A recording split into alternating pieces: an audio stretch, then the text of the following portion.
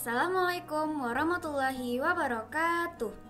Halo Sobat Hamka, Alhamdulillah pesantren Hamka Padang kembali dikunjungi oleh salah satu tokoh besar nasional, yaitu Buya Dr. Anwar Abbas MM MAG. Beliau merupakan Ketua PP Muhammadiyah Pusat. Masya Allah luar biasa ya Sobat. Dalam rangkaian kunjungan beliau ini, dibuka dengan pembacaan doa dari kami, santri PMT Profesor Dr. Hamka Padang.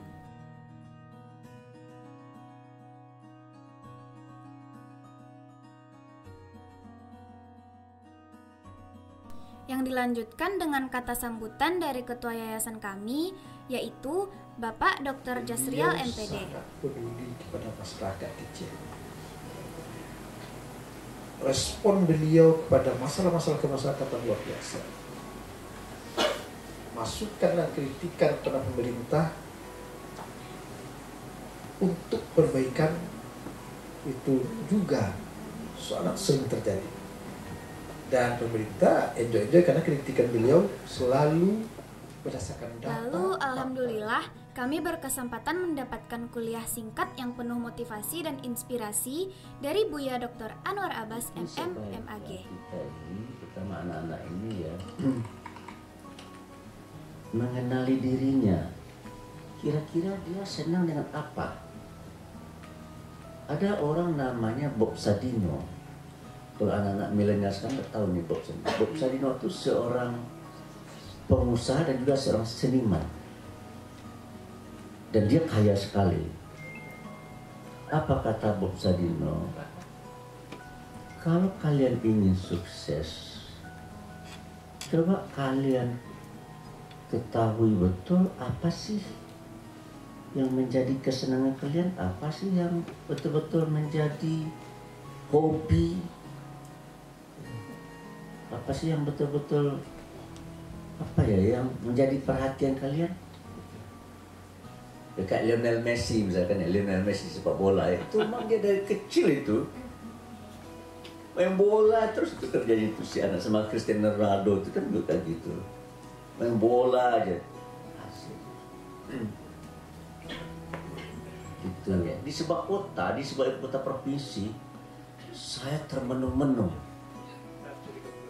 Ini sekolah bagus sekali kemudian anak-anaknya visinya bagus-bagus sekali ketika saya tanya anda bisa mendapat inspirasi membuat sekolah dan membuat anak-anak kayak begini dari mana? Ternyata dari Jepang. Dia pergi ke Jepang, dia belajar di sana di Jepang. Kemudian pengalaman dia di sana dia bawa ke sini. Dan syukur alhamdulillah dia berhasil dan di backup ya. Nah, saya juga sangat berterima kasih karena saya dapat informasi tadi bulan depan ke Singapura ya. Tapi kalau menurut saya ke Singapura shopping biasanya ya. Malaysia. Nah, dulu tahun 90-an kalau disebut oh, HP yang teringat oleh orang adalah apa? Iya. Nokia. Iya. Mencari Nokia hari ini sudah susah. Hari ini kalau disebut apa? HP orang akan teringat dengan Sa- Samsung. Ini adalah produk Korea. Jadi Korea maju kenapa? Saya ingin mengakhiri ini. Karena Pak Chung Hee, presiden atau bapak pembangunan Korea. Dari mana dia dapat inspirasi? Dia dapat inspira- inspirasi di Kuala Lumpur. Ketika dia bertamu ke rum- ke kantor wakil perdana menteri Malaysia namanya eh, Tunku Abdul Razak. Dia baca di layar ada bahasa Arabnya, ada bahasa Inggrisnya. Dia baca bahasa Inggrisnya. Lalu dia bertanya, yang mulia itu pernyataan siapa itu? Kata Tun Razak, itu bukan pernyataan orang. Itu adalah pernyataan Tuhan saya. Apa yang dia baca? Ternyata yang dia baca itu ini. Yang berwas. Inna allaha la yughayyiru ma biqaumin hatta yughayyiru ma bi anfusih. Allah tidak akan merubah nasib sesuatu kaum kecuali kalau individu-individu dalam kaum itu berusaha untuk merubah diri sendiri. Pertanyaannya, kita-kita yang ada di sini ingin berubah enggak? Kalau ingin berubah, maka berusaha untuk merubahnya dan bersungguh-sungguhlah untuk merubahnya.